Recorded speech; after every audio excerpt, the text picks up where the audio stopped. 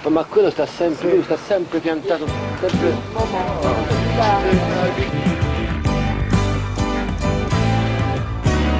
Uscendo sul balcone, il buio m'attanaglia, la cerco in lontananza ma fugge la canaglia. M'arrabbio con me stesso e con la scienza amica che dice che l'aurora dell'alba è assai nemica. Trasognato, perplesso, ironico. Francesco Nuti, nove film in dieci anni, dall'esordio nel 1981 con Ad Ovest di Paperino, è fedele ad un cinema lieve, aggraziato, attento ai sussulti e ai trasalimenti del cuore. Il sorriso buffo e infantile, i monologhi teneri e sbagati, i gesti quotidiani e le vite ordinarie dei suoi personaggi sono illuminati solo dal desiderio di fuga in paesi lontani, da un colpo di biliardo inverosimile, da un dolce desiderio di paternità, dall'incontro con una donna e dall'abbandono. Francesco Nuti intreccia costantemente il versante ilare e paradossale della vita con quella zona incantata e talvolta malinconica, dominata dai sentimenti e dall'amore. E nel cinema poche altre figure sono più disorientate, impacciate e indifese di un comico innamorato.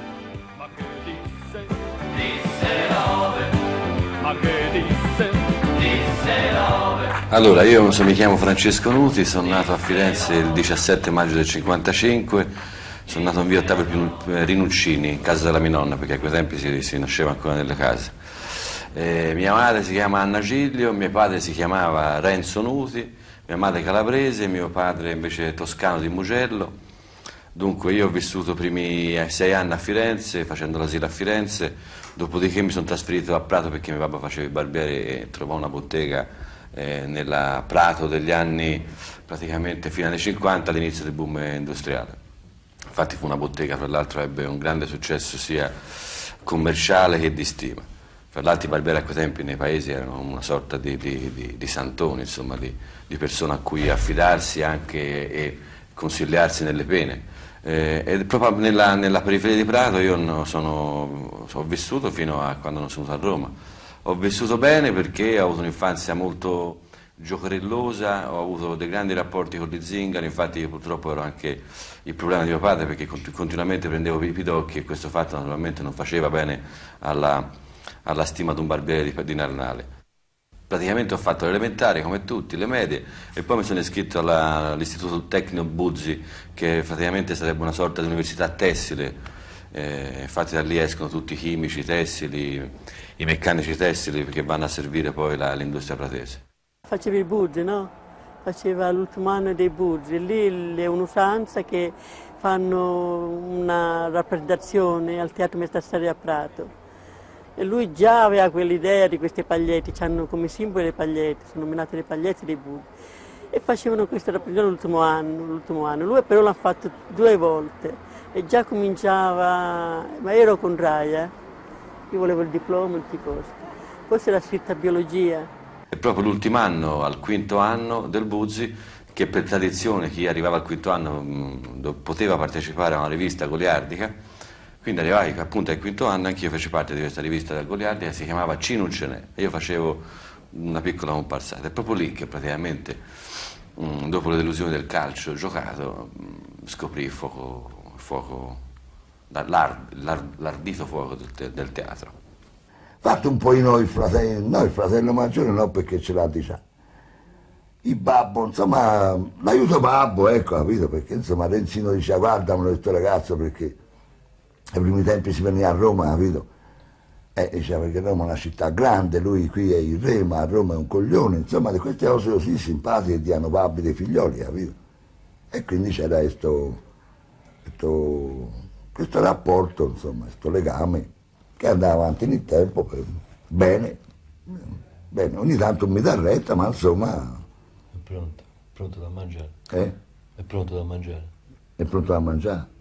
Sì, da mangiare. Il fatto di essere nei camerini, passare pomeriggi interi sul palcoscenico, era una cosa che ancora oggi non riesco a analizzare attentamente, però so che mi, riuscì, che mi passava m- molto il tempo. E, mh, e, per esempio a scuola io non mi applicavo molto e invece lì riuscivo, riuscivo in qualche modo a, a obbedire, a studiare, a seguire, a trovare una concentrazione probabilmente che nella vita di tutti i giorni non riuscivo a trovare. L'inquieto e stralunato nomade di provincia di Madonna che silenzio c'è stasera. L'attore di cabaret di Son Contento. Il giocatore di biliardo di Io Chiara e l'Oscuro e di Casablanca Casablanca. Diventano negli anni l'ex detenuto alla ricerca del figlioletto di Tutta colpa del paradiso, il disc jockey di Stregati, lo psicanalista di Caruso Pascoschi e il giornalista di Willy Signori. Cambiano le età, le professioni. Mutano anche i nomi. Dopo i tanti Francesco dei primi film compaiono Romeo, Lorenzo, Caruso, Willy. Ma nomi e identità restano consapevolmente sfumature, accenti, timbri, colori di un solo personaggio. Sono le forme di una stessa identità.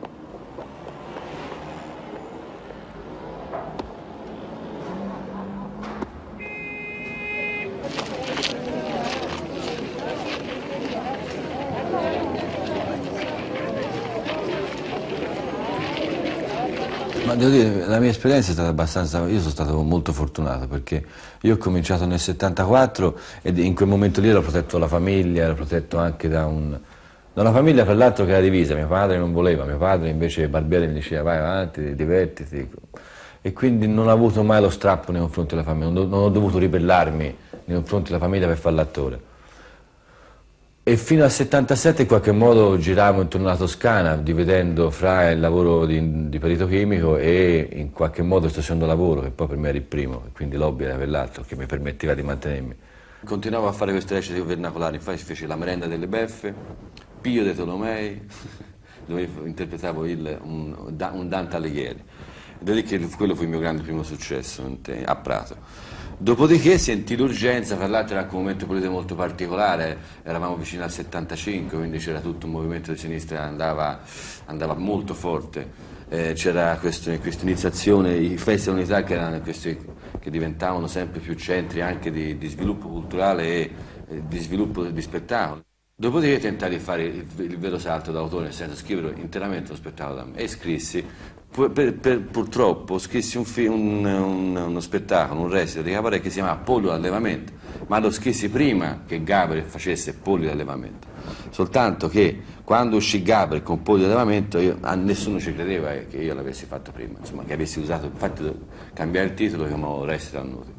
E feci, eh, credo, 150 o 160 feste unità quell'anno lì. Uscendo anche da Toscana, mi ricordo una gloriosa partecipazione mia al Festival di Venezia nel quartiere Canareggio, dove venne schizzato da tutti i ragazzini che, con le pompette d'acqua.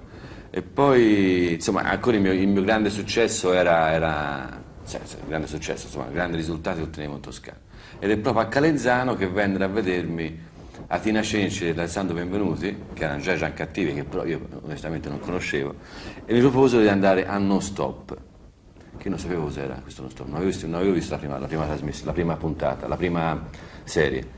Però il fatto di andare in televisione dissi va bene, vengono voi. E quindi naturalmente fu una scelta, credo incosciente, perché non li conoscevo, non sapevo cosa si andava a fare, però capii che, che poteva essere una, una, una, un bel trampolino per me. Con l'arrivo di Francesco invece poi c'è stato questo, questo, questa amalgama maggiore, questa più normale distribuzione di ruoli, insomma, capito?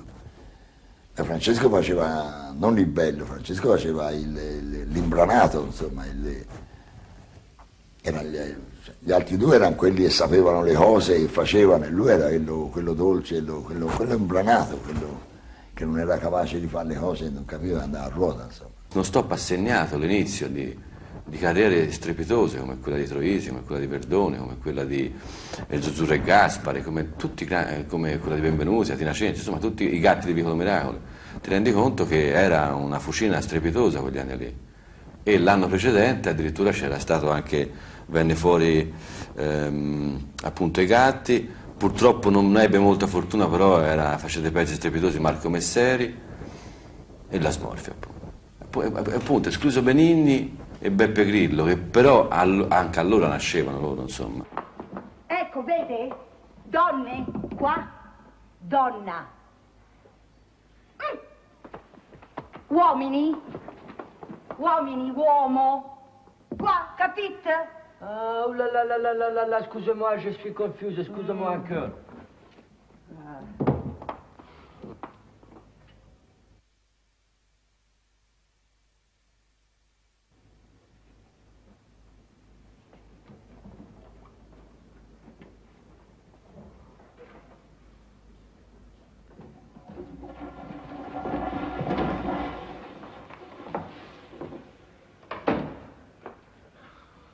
Giulia, Giulia! Sono qua.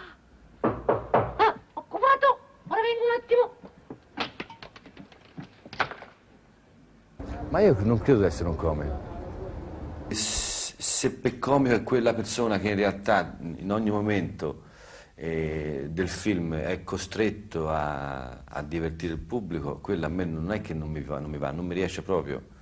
Eh, io credo più di essere un attore, ehm, se dovessi dire uno che mh, eh, in qualche modo a io assomiglio, perché è un Jack Lemmon, cioè mi piace molto l'attore brillante, capito? Ecco, l'attore comico, che è diverso poi dal, dal comico.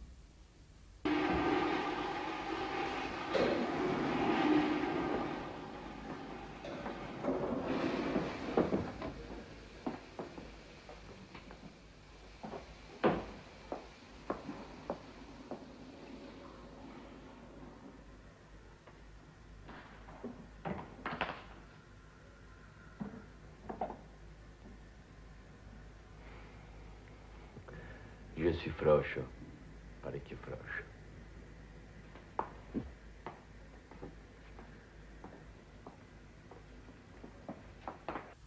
Tu ora hai cominciato a imparare, o forse lo sai da sempre, che cosa può far ridere il pubblico.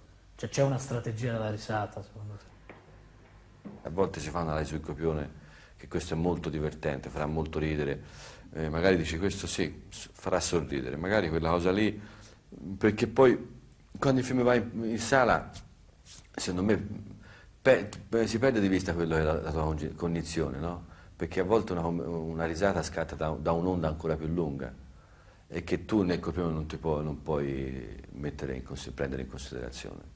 Quindi a volte ti sorprendi che alcune cose che per te non erano molto divertenti, cioè non erano comicissime, per esempio in Pascoschi noi sapevamo che quando io entravo nei cessi e tiravi il cazzotto nella bocca dello stomaco, alla, alla- alla donna entrava, io- noi eravamo convinti che lì veniva giù il cinema. E infatti veniva giù il cinema. Noi eravamo convinti, per esempio, che il passaggio del- dei pazienti all'inizio fosse potenteme- poten- potentissimo. Si pensava fosse una cosa divertente divertita, niente di più. Ecco, quello.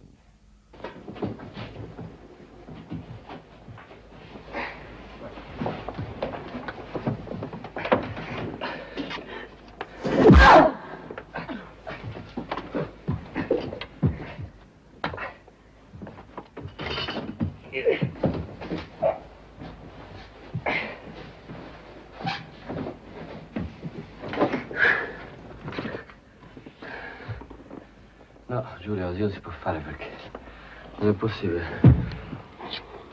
Ecco, io con nella costruzione della gag, eh, quando ne fa- le facciamo e le scriviamo io e Giovanni, ci preoccupiamo di avere un personaggio che in qualche modo è centrale nella gag, però non è portatore di comicità, è in qualche modo uno che subisce una situazione comica, mentre il personaggio si comporta o drammaticamente perché rimane spaesato, oppure attonitamente perché non capisce, mentre la, la situazione intorno cambia in maniera paradossale, tipo la gag del polacco, che è una gag dove io in qualche modo sono una sponda vera eh, rispetto alla follia del personaggio, che comunque non è, anche come tipo di recitazione, è, è distante dalla mia, capito? E quindi da questa follia dei due personaggi messi insieme a volte. Dato sono e a me, fra virgolette, senza virgolette, la morte mi fa abbastanza ridere. E mi fa ancora più ridere la cronaca nera, perché dove la morte, fra l'altro letto sui giornali, è veramente paradossale. Tipo, amante ammazza la moglie, la nonna, il nonno, il socio, il portiere di sotto, il canarino, e tutto gli passa a mente, capito? E quindi, se tu leggi così freddamente, ti, ti sembra molto paradossale. Tipo quello che fra l'altro c'è anche nel film, tipo il, ehm, il sommozzatore pescato da un, da un elicottero dei vigili del fuoco con la sacca, no? che prendono l'acqua e hanno beccato anche un sommozzatore che sta a tre metri sotto l'hanno portato e l'hanno buttato in un bosco in fiamme. Naturalmente il dramma è diventato quando hanno trovato a 500 metri un sommozzatore carbonizzato, quindi per capire come l'avevano portato sono dovuti eh, arrivare all'idea iniziale, cioè alla, alla cosa iniziale che era un, semplicemente un elicottero che ha pescato oltre all'acqua anche questo sommozzatore, infatti c'era anche il pesce dentro la, c'era una spigola carbonizzata.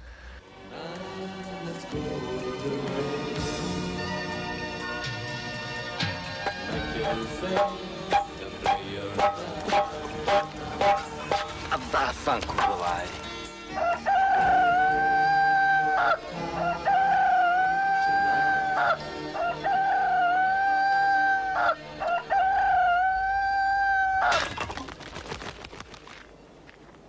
Chi è secondo te un comico? Che, che cos'è un comico in un, in un mondo come questo?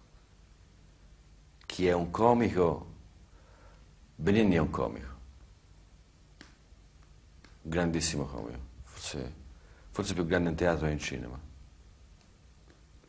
Il comico oggi, comico molto comico, molto bravo anche Troisi, anche Verdone. Lo trovo, Benigni lo trovo il più, forse anche il più pazzo, probabilmente perché è pazzo Roberto. Infatti non sono mai riuscito a parlarci una volta seriamente, perché subito partia pacche, botte, insomma, lo saltellare a destra e a sinistra, probabilmente è così lui. Quindi è, è una roba che non puoi collocare, è che un comico non si colloca. Oggi un comico? Oggi un comico diventa ricco.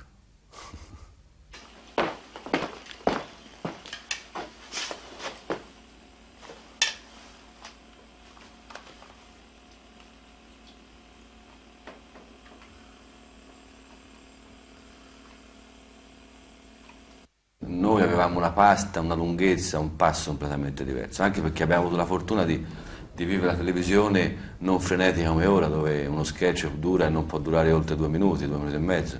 Invece noi avevamo un minutaggio di 12, 13, 14 minuti a sketch, quindi era molto, anche molto più difficile, però automaticamente c'era anche la possibilità di, di, di, esprimere dei tempi comici che comunque hanno bisogno di un suo, spazio. Comunque io mi ricordo una grande potenza e poi una cosa incredibile, eravamo molto, uh, molto no amici, ma molto uniti, ecco, in questa esperienza. Cosa poi purtroppo non è più avvenuto. Io credo che non è che non abbiamo la televisione. La televisione impaurisce perché ha una capacità di, di, di bruciare un'immagine con una velocità eh, strepitosa. Cioè io tempo fa dicevo in un'intervista al Festival di Viareggio che io potrei tranquillamente smettere di fare cinema ora, avendo fatto nove film, e mantenere una sorta di popolarità ancora per 5-6 anni, perché in realtà i passaggi televisivi dei film ormai sono talmente massacranti, talmente continui, che se poi tu ci metti anche dei passaggi televisivi, diciamo fra virgolette da spettacolanti, c'è il rischio, fra l'altro di andare in una trasmissione che io amo, ma comunque Blob, che ha una capacità di eh, denigrare e, e, di prendere in giro, di prendersi anche in giro, però c'ha purtroppo un limite che sfrutta un'immagine che in qualche modo viene consumata. Ma basta pensare che i grandi, i grandi attori degli anni 40, 50, 60, 70 facevano 6-7 film all'anno. Per quale motivo? Perché prima cosa le vergogne non si vedevano, perché film, hanno fatto film brutti anche loro, e i film brutti non si vedevano. I grandi successi erano misurati in, in sala, quindi c'era anche un, un, mistero, un mistero clamoroso nei confronti di questo attore qui. Ora invece no, se facessi sei film l'anno, cinque film l'anno, anche da attore, eh, renditi conto che l'anno dopo passi cinque volte in televisione. Se poi si accavalla con gli altri cinque e fai l'anno dopo ancora, in due anni riempi completamente la televisione la tua immagine e sono convinto che eh, i sordi Manfredi, Tognazzi, Gasman sono durati 30 anni perché questo consumo non, non, non c'era.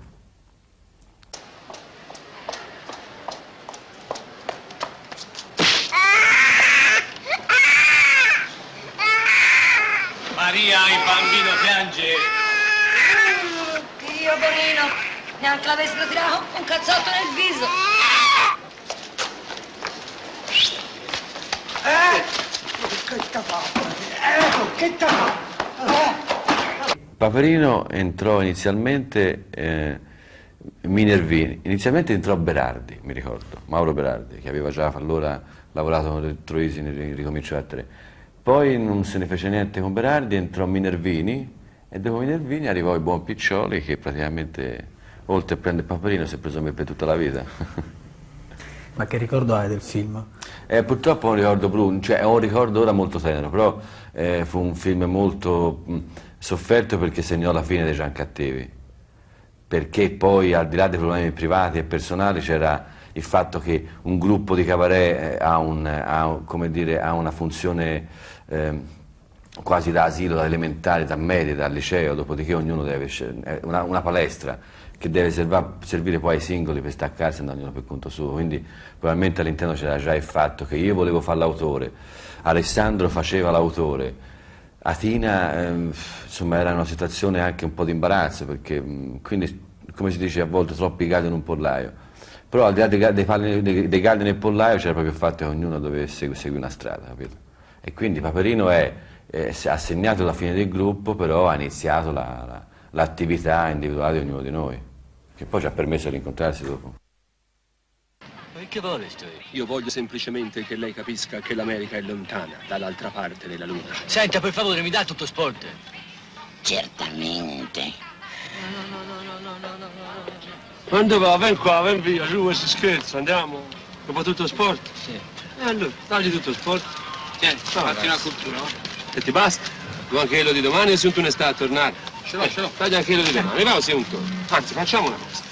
Tagliano per tutta la settimana, vai, così non, non si rivede più, vai, vai, mercoledì, giovedì, venerdì, oh. questo dei sabato, tieni, vai, oh. vai, vai, anzi guarda, ti si dà anche quello di aria, c'è avanzato così, ci si leva di torno e non se ne parla più, vieni, vieni, Devo dire che Maurizio ha, fatto, ha avuto la funzione con me, come dire, di un, una, una, gallina, un, no perché Maurizio è una gallina, con un pulcino, insomma, di grande protezione. Infatti, infatti credo che Maurizio eh, mi abbia insegnato a fare cinema, su questo non c'è dubbio, mi ha insegnato per tanti motivi, per, la, per, lo stile suo, per la sua intelligenza, per, sua, per il suo acume anche critico e per la sua disponibilità nei confronti del set.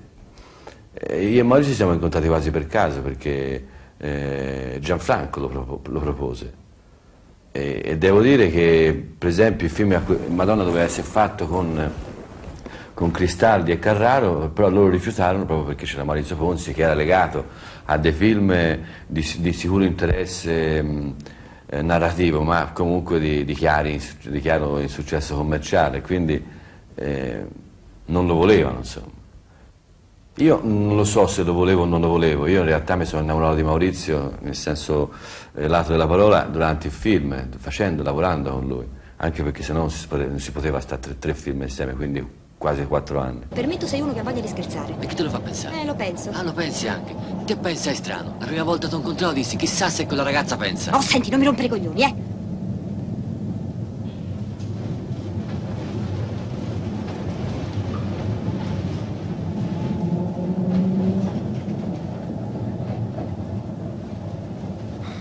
Scusa. Scusa una sega. Beh, ho detto scusa. Io scuso una sega. Erano film che in qualche modo rappresentavano direttamente me di quello che ero nella provincia pratese, voglio dire, Madonna raccontava il mio percorso all'interno di una città industriale che era Prato, in mezzo a telai, in mezzo alle fabbriche chimiche, visto che io sono perito chimio ed ho lavorato nell'industria chimica. Io che ero all'oscuro perché era il film sul biliardo e solamente sa giocare bene al biliardo, poi inventasse un film sul biliardo anche se poi naturalmente poi l'idea veniva lavorata. Sono contento che riguardavo un po' il mio passato di cabarettista e raccontavo appunto il problema fra un cabarettista all'inizio e una storia d'amore che stava finendo e quanto una storia d'amore quindi un abbandono può, può aiutare un artista.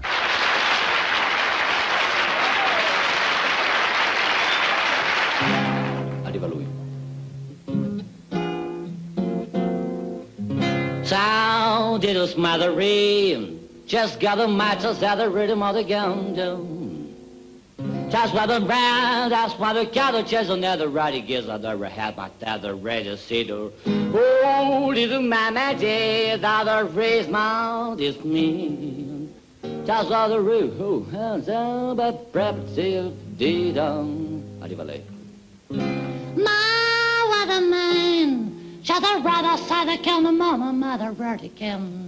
Maurizio è stato anche un, eh, veramente un uomo che metteva in scena con grande intelligenza e sfruttava appieno quelle che erano le mie capacità del momento e cercando di trattenermi su quelle che potevano essere le cosiddette caccole del, de, di un comico un po' grezzo, no?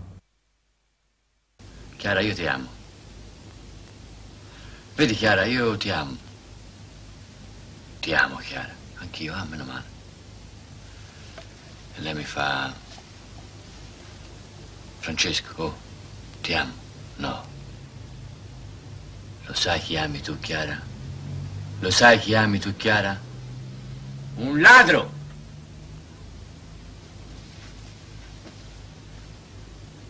Lo sai cosa sono queste? Lo sai cosa sono queste? Mani di ladro! Ma non so se ho costruito un personaggio, sicuramente i tre film, madonna, che chiaro, sono contento in qualche modo rappresentano.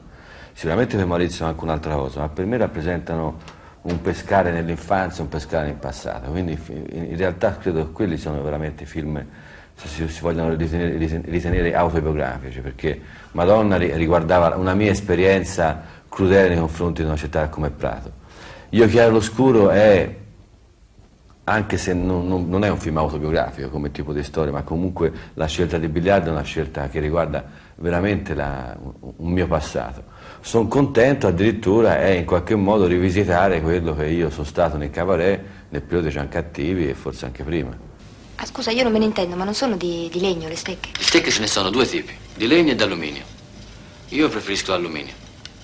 Sì, oddio, la stecca di legno ha più cuore, ha più anima, è più passionale, sanguigna.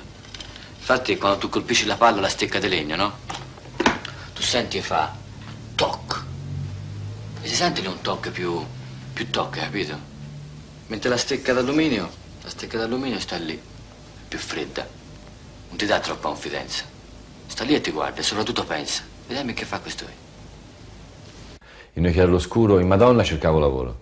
Io Chiaroscuro facevo un portiere d'albergo di notte, però la grande, la grande passione e quindi il grande mestiere, la grande abilità era il biliardo. Sono contento, ero un cabarettista eh, in eh, tutta Olio Paradiso ero un carcerato che usciva alla ricerca di un figlio e quindi non facevo niente. In Stregati facevo una sorta di, di gioco un po' strano, un po' ribelle, un po' accattivante, Don Giovanni. Mentre da Pascaloschi in poi, in qualche modo, secondo me, io vado un po' più chiaramente verso la commedia borghese, perché bene o male i miei personaggi sono arrivati a dei mestieri gratificati e gratificanti.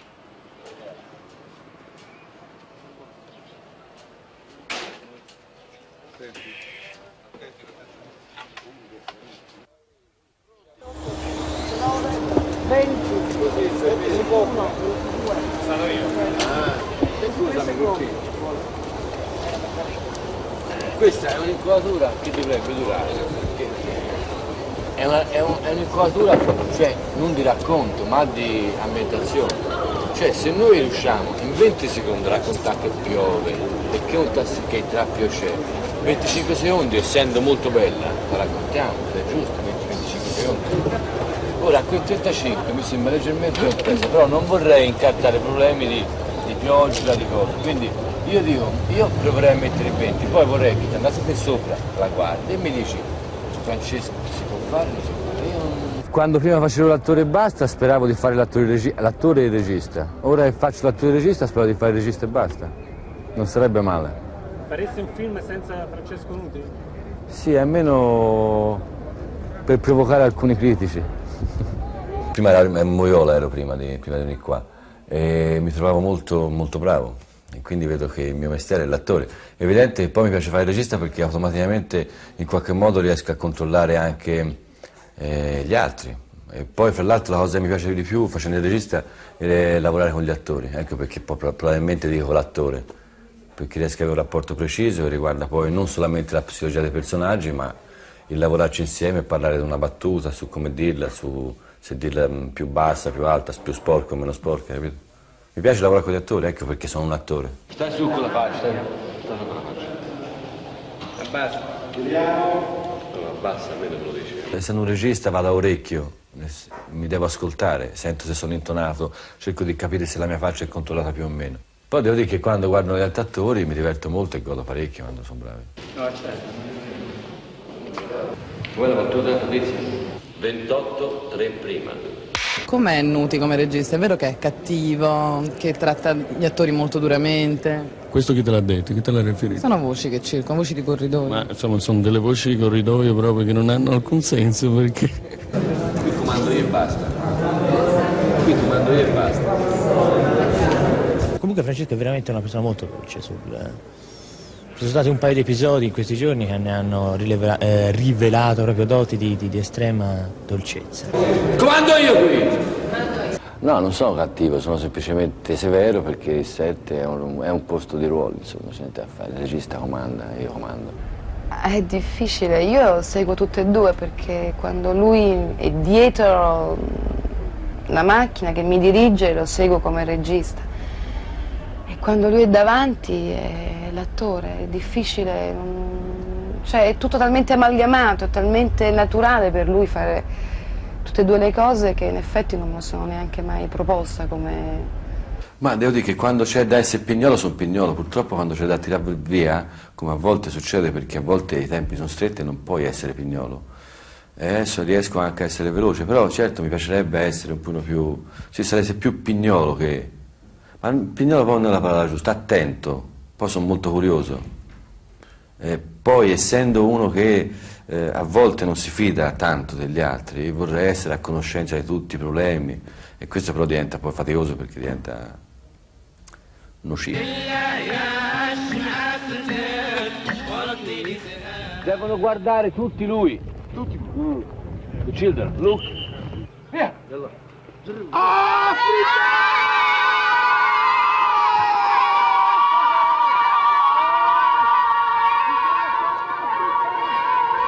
Purtroppo in questo momento faccio parte del mercato, sono uno che ha fatto dei, dei grandi successi economici e quindi la richiesta che mi fanno è di fare l'attore, perché credo che ancora la gente, anche se sa che sono alcun regista, credo che la gente venga a vedermi per vedermi, perché sono un attore probabilmente simpatico per loro. Però probabilmente lo farò. Lo dovevo in realtà dopo Pascoschi avrei dovuto fare un film da regista.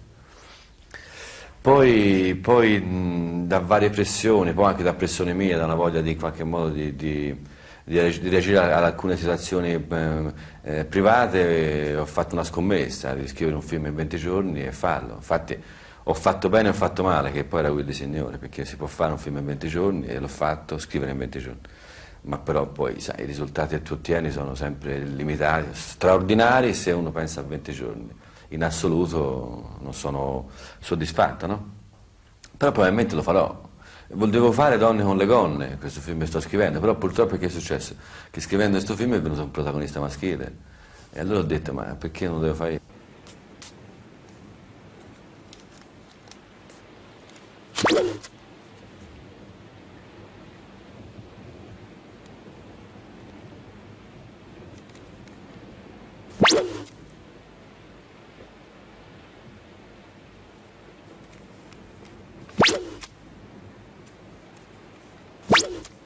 Come regista ho bisogno proprio di di attore per, per essere un- una sorta di filo conduttore fra eh, drammaticità e quindi fatta con eh, serietà, però portata con leggerezza probabilmente da questa faccia di cucciolo che, che probabilmente è stampata addosso a me.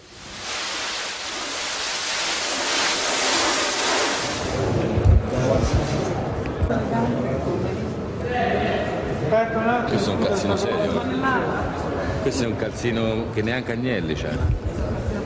Guardate la scarpa un pochino sporca, ma il calzino è veramente... L'occhio molto a punta, molto a punta. Ecco, fatto. La vita e la scena, le immagini e la realtà sembrano sempre sul punto di identificarsi, quasi confondersi.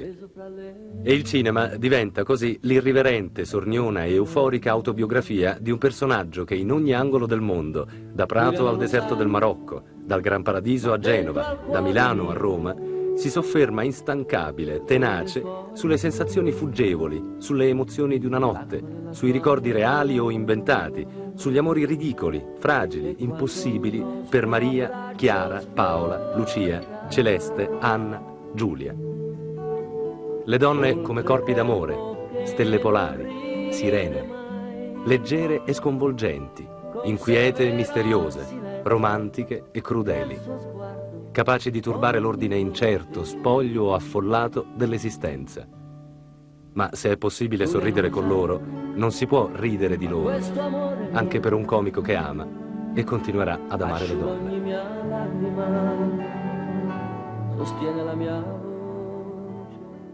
Calma Lucia, che ora, che ora ci sono qua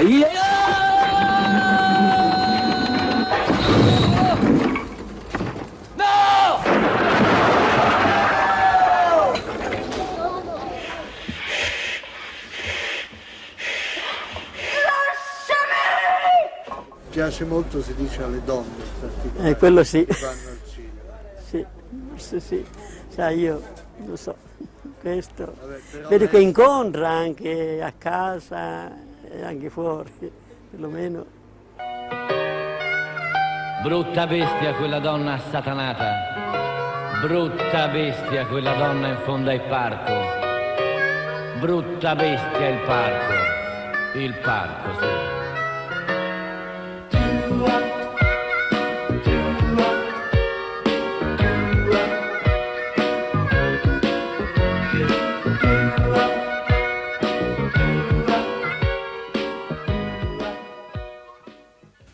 Cosa mi deve piacere a me fisicamente.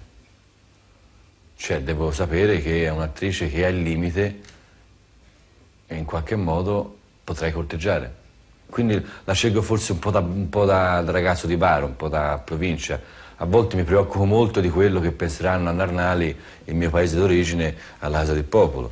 E devo dire che tutte le volte ho scelto un'attrice nel mio film e loro mi hanno sempre dato l'ok. E quindi il loro ok è dimostrazione che la provincia è dalla mia parte. Tac, 108, 7 prima. Azione Isabella!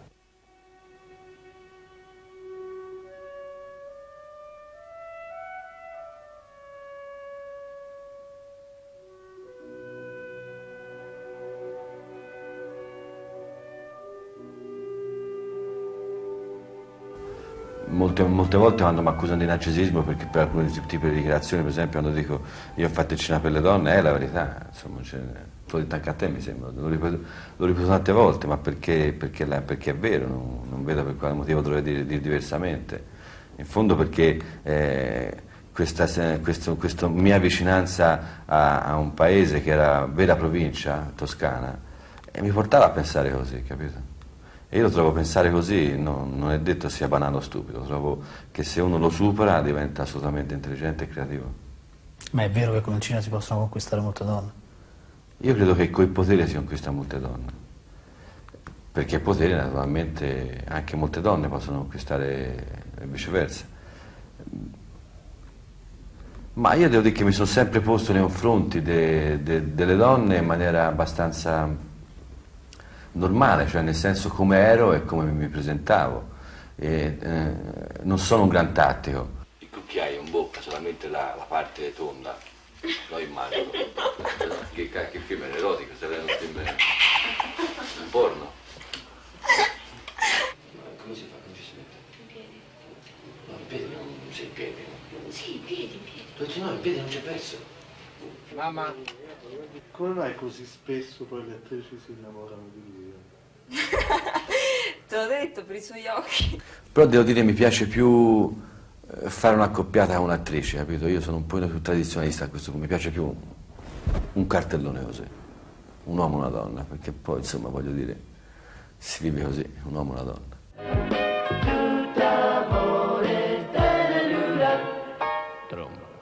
Il comico non ha sensualità, comunque un'attrice, una donna ha sempre sensualità, è portatrice di altre cose secondo me. E questo credo non sia un problema, non sia, credo sia una cosa limitativa. Eh? Non lo so cosa ha provato in quel momento quando mi ha visto finalmente vestita di, di sposa, però era commosso davvero. Mi ha detto guarda ti sposerei subito. Ma io tra l'altro ho sempre lavorato con delle attrici secondo me molto brave, dalla Desio, alla De Rossi, alla Muti, Clarissa Parte e poi Isabella Ferrari. Cioè comunque erano attrici che, eh, oltre a quello che ti dicevo prima, no? che riguardava la Casa del Popolo, riguarda anche una- un mio gusto interpretativo.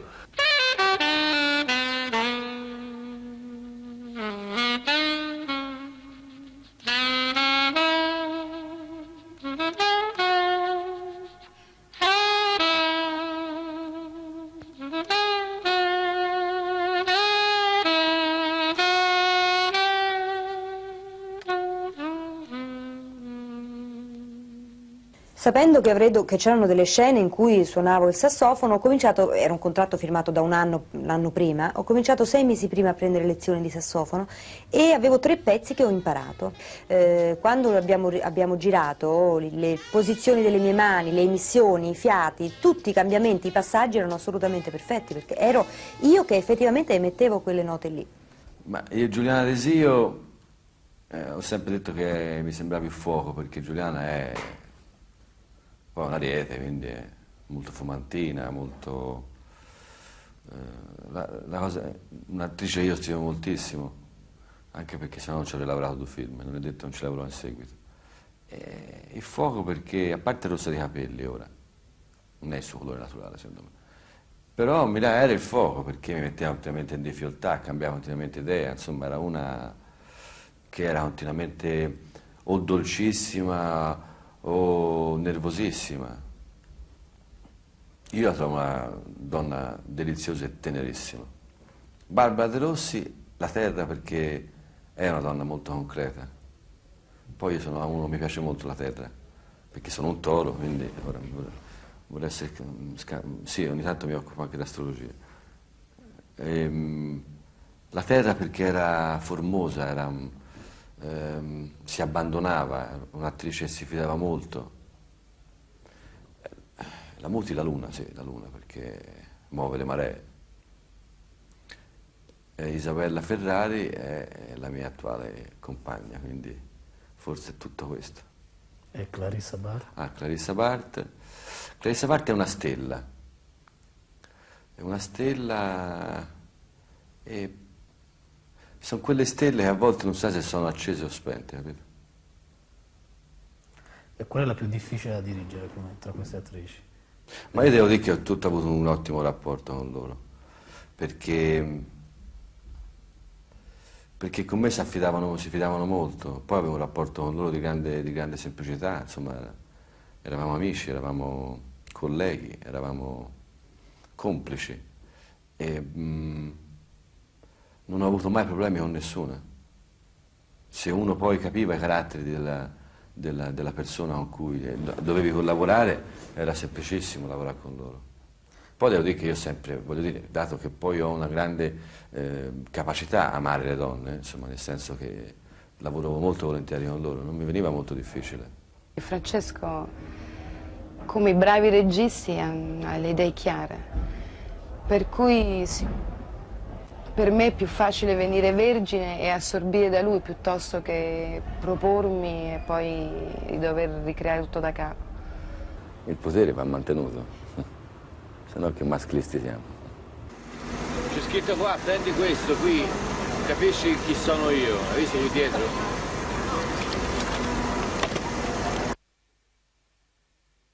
Ma io non credo di essere un come. Cosa credi di essere? Uno che tenta di fare il cinema. Chuck, 61 sei terza. Posta?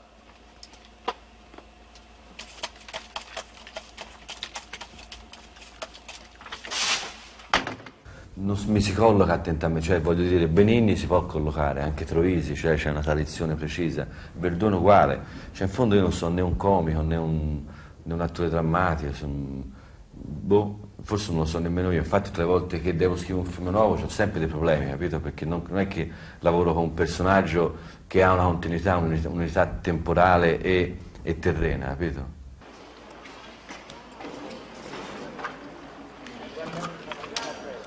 Certo è evidente che in qualche modo il ruolo della vittima, l'antieroe, sì, effettivamente sono, faccio parte di quella razza lì, no? dei personaggi che poi esplodono oppure comunque vanno via eh, tipo tutta l'opera paradiso da vincitore ma comunque lasciando dentro una malinconia e, eh, nel, nel, pubblico. Faccio parte di quella razza lì, su questo non c'è dubbio. Chiara, Sam, Sam, Chiara. E tu chi sei? Francesco. Hi, Frank.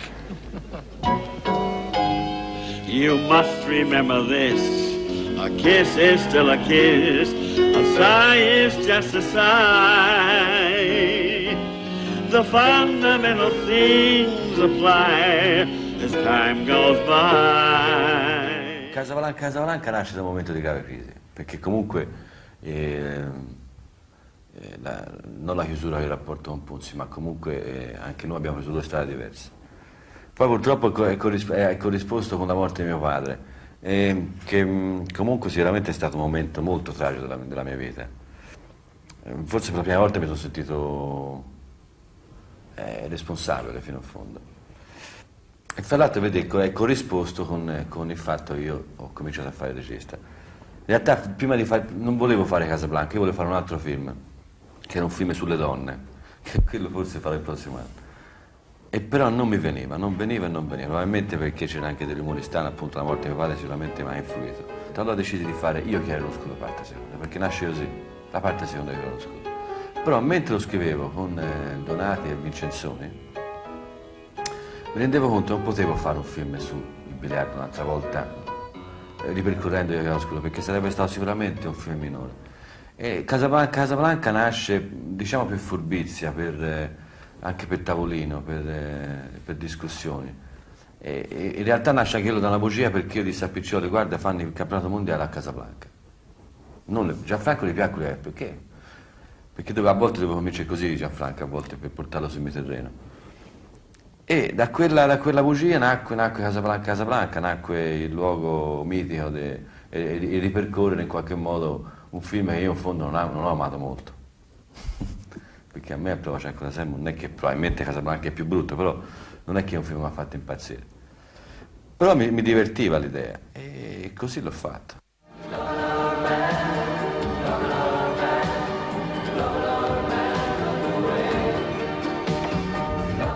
Trovo che il paradiso nasce dall'entusiasmo di Casablanca, dal cambiamento di, diciamo, di punto di riferimento che era Lombardo diventò Cecchi Gori. Anche con l'entusiasmo di Cecchi Gori, perché Vittorio era, eh, gli piacevo io, gli piaceva i miei film, era contento di collaborare insieme. Devo dire che l'idea della Muti fu sua, di coniare il famoso Nuti Muti. E tutta colpa del paradiso nasce dalla voglia di scrivere una favola, perché in fondo tutta colpa del paradiso è una favola. E devo dire che è un film che ancora oggi, riguardandolo, eh, anche una volta parlavo con Cerame, ci, ci siamo sorpresi che, che noi si potesse scrivere un, sim- un film simile, perché eh, a volte vedendo il film mi sembra un cartone animato, perché se ci pensi bene i personaggi potrebbero essere cambiati in cartoni animati, io un coniglio, l'orso, il coso, il cane, il topo, il e reggerebbe tranquillamente, ma non c'era da parte nostra l'idea di fare un cartone anima- animato. Anche per esempio il gruppo del paese, quelli suonavano a, a bocca, sembravano veramente una banda bassotti. Tutta colpa del paradiso e il film mi permise di scoprire la montagna.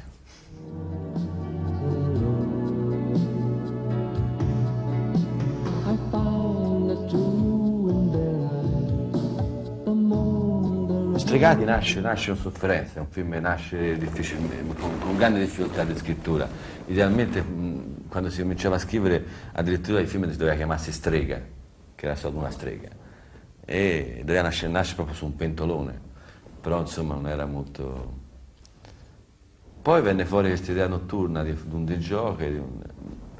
Stregati è un film nato da emozioni, da, da degli strappi, da delle da- anche da- di voler fare un film su una città strana, eh, di, fa- di fare un film che non, che non era comico, cioè, queste sì c'erano proprio nelle intenzioni, non fare un film, certo era comunque un film sentimentale, un film di sentimenti, certo. E devo dire che forse che è il film che forse hanno amato più i critici. Com'è Squintaglio? Più largo? Qua?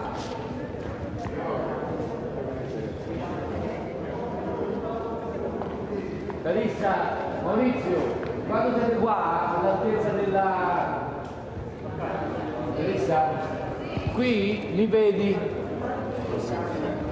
Qua mi vedresti e te Maurizio dopo un passo ti rivolgi la parola e te però senza...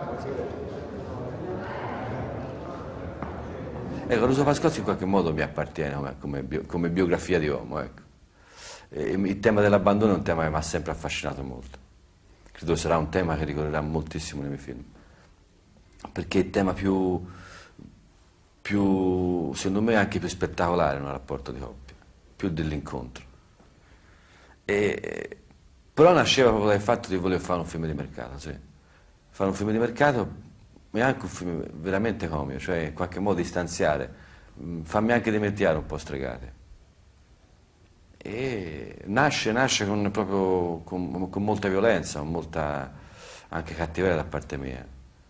E devo dire che secondo me il successo di, di Pascoschi è perché si sentiva dentro questo film mh, probabilmente una sincerità di, di voler fare una cosa per il pubblico.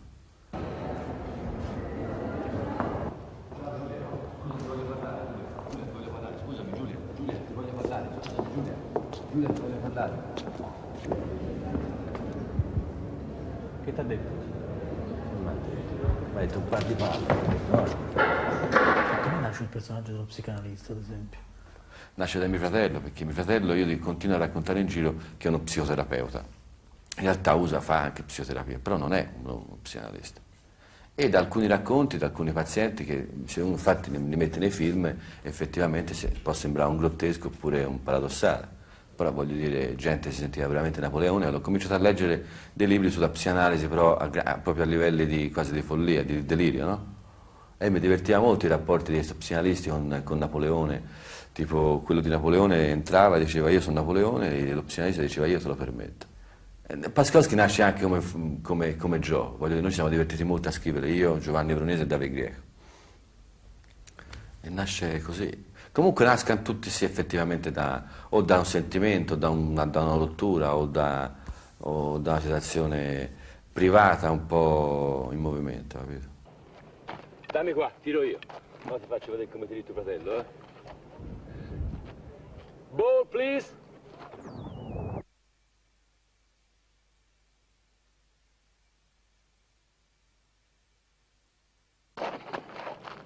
Bene, vado io a prendere la palla, eh? Willy Signore nasce dopo il grande successo di, di Caruso Pascoschi, io non vorrei sembrare antipatico dicendo sempre questa parola, Però, eh, e tutti mi richiedevano i film di Natale e io avevo deciso di non farlo e di fare un film da regista. Sono stato, mh, sono fuggito dall'Italia, sono andato a New York, che è una città che ho conosciuto poco, però da poco avevo visto mi, mi, mi intrigava molto.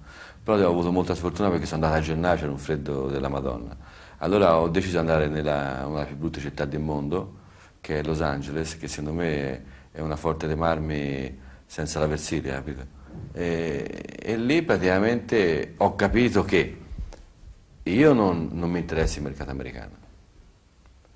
Cioè ho capito delle cose là. Eh, che, che, il cinema americano, per l'amor di Dio, è dignitosissimo, in alcuni esempi strepitoso, però non credo sia una cosa riguarda noi.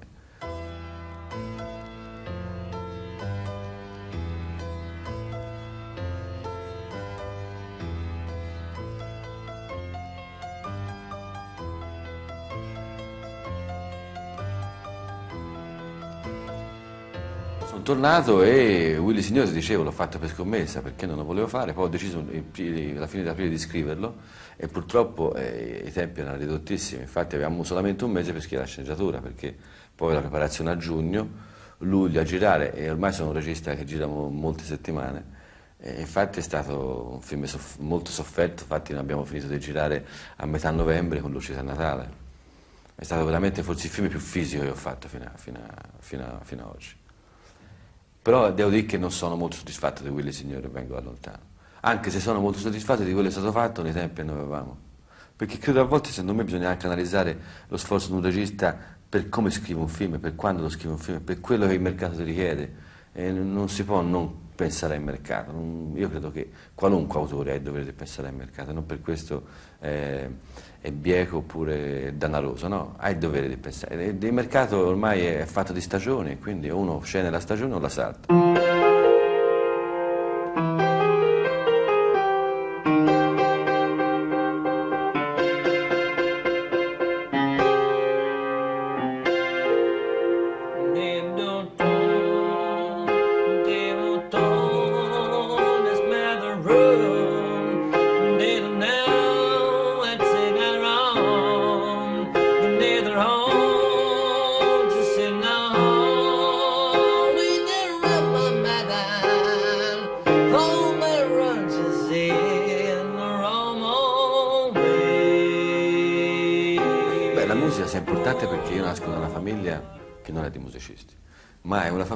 Mio fratello Giovanni Nuti è un musicista sin da quando era piccino. Io ho imparato la chitarra copiando lui, lui l'ha studiata, io l'ho, imparata copiando lui. E Giovanni è sempre stato uno anche perché da, da avendo avuto da piccino dei problemi fisici, essendo stato molto, stando molto a letto, è uno ha sviluppato molto questa, eh, diciamo, questa capacità musicale. E quindi quando poi ho cominciato a fare i miei primi lavori anche in teatro, anche Giovanni di pari passo, in realtà il primo artista di famiglia sarebbe mio fratello, e di pari passo abbiamo cominciato a collaborare, capito? Fino a poi arrivare ai primi film che, che, che l'ha fatti Giovanni, l'ha fatti tutti.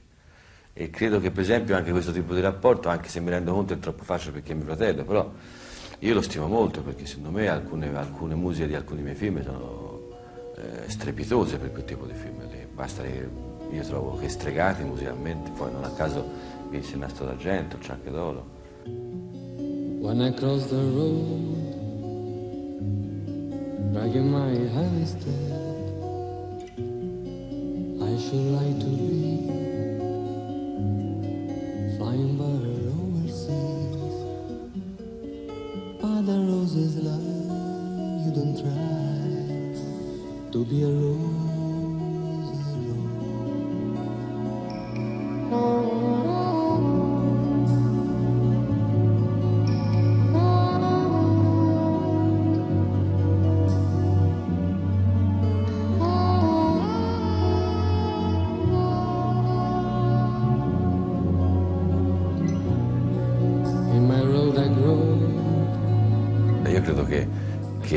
partecipazione mia a Festa Sanremo sia stata una partecipazione che mi è servito per, anche per migliorare i miei aspetti d'attore e di regista in cinema. È stata un'esperienza incredibile e indimenticabile. Credo proprio ritornerò entro il 91 a Sanremo. Ma perché secondo te è stato così importante?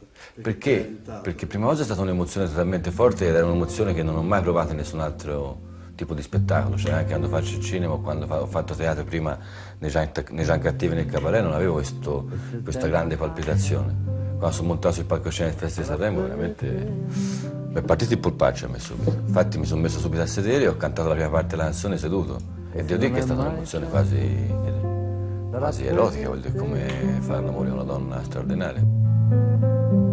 Se ho sbagliato e ho riprovato sarà per te un Se quando sono solo ho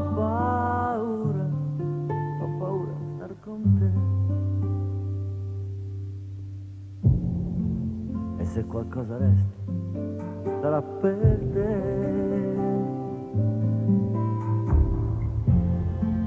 E se un sogno resta, sarà per te. Se adesso Ah, insomma, sai, voglio dire, l'Oscar sarebbe la cosa più banale di tutti, no? Vincere, vincere premi. Poi però io mi sono anche accorto che vincendo premi in Italia, poi quando l'hai vinti sono da mettere in un cassetto e quindi allora uno non può vivere tutta la vita per vincere premi. C'è un obiettivo ancora segreto? Sì, sono un po' retorico, la famiglia, sì, vorrei farmi una famiglia. Vorrei avere dei piccoli nutini per la casa, dargli delle, delle- delle grandi botte in, in testa, brontolarli, avere un rapporto assolutamente mm, normale, insomma. Vorrei avere dei brufoletti per la casa, che battano la testata negli spigoli, capito? Che poi mi tocca portare all'ospedale, portarla a scuola, no, anzi andare a ripigliarla a scuola, perché la mattina non c'è verso, fa ammazzare. Grazie. Prego. E... e-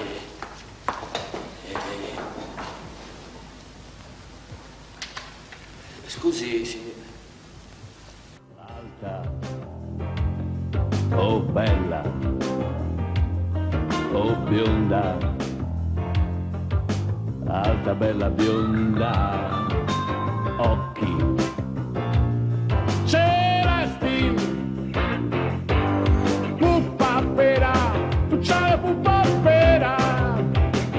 la puppa pera, pera, pera, pera, pera, puppa pera.